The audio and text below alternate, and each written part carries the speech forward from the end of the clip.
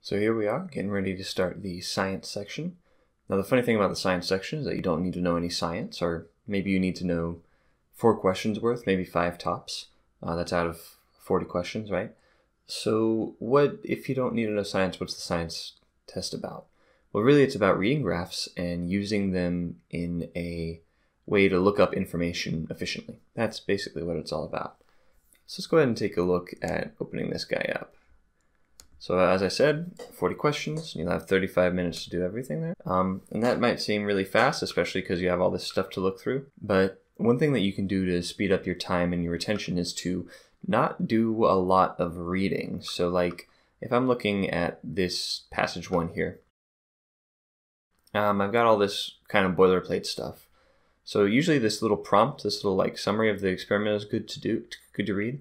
Researchers studied how diet and the ability to smell food can affect the lifespan of normal fruit flies, and fruit flies unable to detect many odors, strain X. So immediately we would get that N is normal, strain is not able to smell. Um, I usually skip this like study description.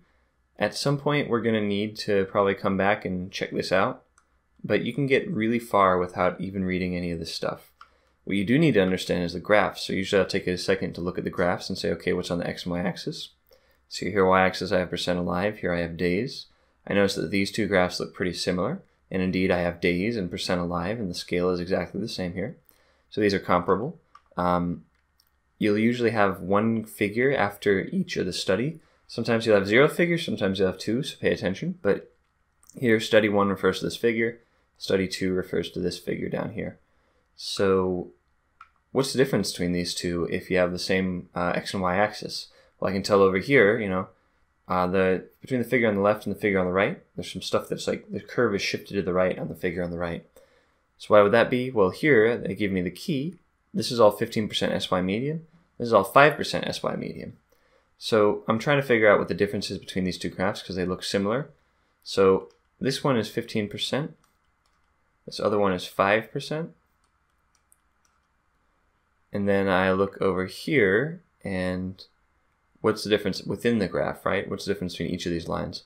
Well, it's whether you use SY medium. What's SY medium? I don't know, but it doesn't really matter. Uh, SY medium and additional odors, SY medium and live yeast. So SY medium and live yeast is the farthest one on the left. These are a little bit more spread out. So live yeast, additional odors, and SY medium. So basically, if it's percent alive in days, you know, these flies are living longer.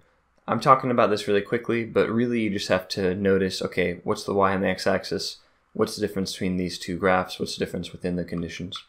Something that you can do in, you know, 10 seconds tops. Then we've got down here, study three. So strain N, uh, I don't necessarily need to read it, right? So here they've got different SY medium percentages. So remember we already looked at a graph with 5 and 15, but here there's a lot of intervening uh, values. So they go from 3 to 15. And they give you the average lifespan in days on the right column. Um, so N and X, we know this is uh, smell and no smell, basically. So then um, you can notice that as the yeast increases, the average lifespan decreases. This is in both directions. So I'm just drawing an arrow to show like, okay, well, there's a trend here, you know, more yeast, more, more sugar, less lifespan. Okay, sorry for the delay. I had to go back and um, do a little bit of erasing here. Uh, in which of studies 1 and 2 did some of the fruit flies live for more than 75 days, and what diet were those fruit flies fed? Okay, so this is something that we should be noticing immediately, is that they're telling us to point at exactly studies 1 and 2. So remember that we got three studies. Study 3 is this little table, and studies 1 and 2 are the little graphs up here. So we want to find where uh, flies live for more than 75 days. So here we've got uh, the number of days. We want some percent alive after 75. The only graph that does that is this 5%, and that corresponds to study 2, right? So we scroll back down here. We want study 2, and that's the 5% medium. A lot of these are just simple lookup questions. During studies 1 and 2, why did the size of the fruit fly population in each tube decrease rather than increase? Okay, so this is a classic sort of uh, answer pattern that I like to call A, B, and 1, 2. So basically, they kind of mix and match these answers in every single combination. So what I mean by that is, you know, the they can either be about the birth rate or the death rate. Birth rate zero, death rate zero. Call that A and B, and it's because the initial population has only males or because it only has virgin females. So that's one and two. Sometimes it's easier to figure out one of these than the other. Um, so if the birth rate was zero, that means that no new flies were born. If the death rate was zero, that means no flies died. So if the population is decreasing, it can't be because the death rate is zero, because you know the population would not decrease. It must be the birth rate is zero, the death rate is non-zero. Now, is it because the initial population contains only males or females? This is where we actually have to go back and see if we can spot this in the uh, description of the experiment. So three tubes, blah blah blah. Then 200 virgin female strain N flies. So we're using virgin females uh, rather than males. They're virgins so that you can keep the birth rate zero.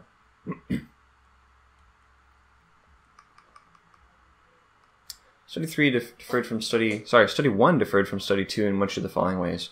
So we've already talked a little bit about this. Study 1 and 2 are different in that they have different SY medium, right? Um, not female fruit flies, we're looking for SY medium.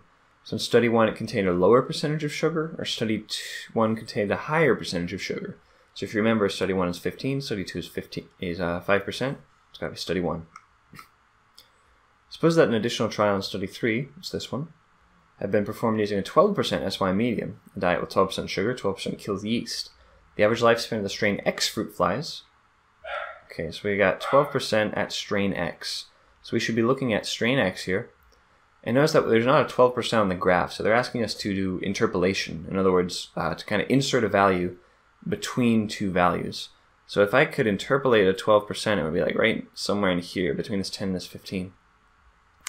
So because there's a linear correlation, more or less, with these average lifespan, we think that if 12 is between 10 and 15, the average lifespan value corresponding with 12% SY should be between 58.6 and 55.6. There you go. Researchers had predicted that decreasing a fruit fly's ability to detect odors would increase its lifespan. Are the results of study 3 consistent with this prediction? Okay. So decreasing its ability to detect odors, remember strain X is no smell, so strain X is the decreased ability to detect odors, would increase its lifespan. So if we compare strain X to strain N, strain X does have an increased lifespan here, right? They're living between 55 and 61. These are 41 to 50. So yes, it is consistent. And so this AB12 sort of pattern, right? So yes, it is consistent, but is it because the average lifespan of strain X fruit flies was longer than N, or that N is longer than X? Well, clearly it's that X is longer than N. Suppose the researchers wanted to determine whether a defect in the ability to detect odors, so this is their little keyword for like strain X flies versus N flies, would change the lifespan of fruit flies fed 15% SY medium when live yeast is added to the diet or when additional odors from live yeast are added from the diet. Which of the following experiments should be performed? Okay, this is a lot of stuff, but really you need to focus on 15% SY medium and defect in the ability to detect odors. So defect in the ability to detect odors points to strain X, 15% medium points to study 1. Once you break down these different studies into their basic components, it's like, oh, you know, study 1 is about 15%, study 2 is about 5%, study 3 is about strain X versus strain N, you know. Results for which two tubes should be compared to determine how a reduced calorie diet affects lifespan in the absence of live yeast and additional odors from live yeast. Okay, a couple things: reduced calorie, and then uh, live yeast and additional odors, or in the absence of live yeast and additional odors from live yeast. Okay, this is written very confusingly, but basically you don't want any extra stuff. It's just reduced calorie diet. So if SY is the sugar yeast medium and has something to do with food, this study 2 is the reduced calorie version. Let's see where we can find tubes. Okay, here we go immediately. Tubes 1 through 3, tubes 4 through 6.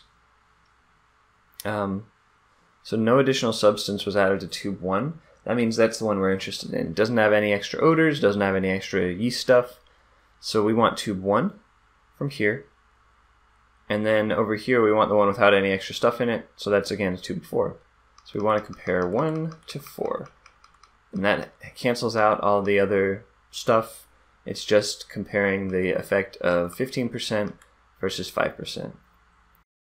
And that already brings us to the end of our section one. So I'll stop it here and uh, we'll pick up next with our uh, comparison passage.